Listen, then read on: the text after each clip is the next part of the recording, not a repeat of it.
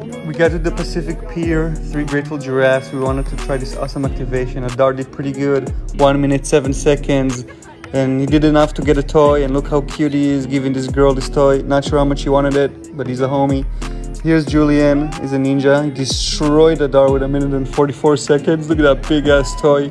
Give it to another girl, because that's how we do it. We just give our gifts, you know what I'm saying? Let's go, baby, grateful giraffe.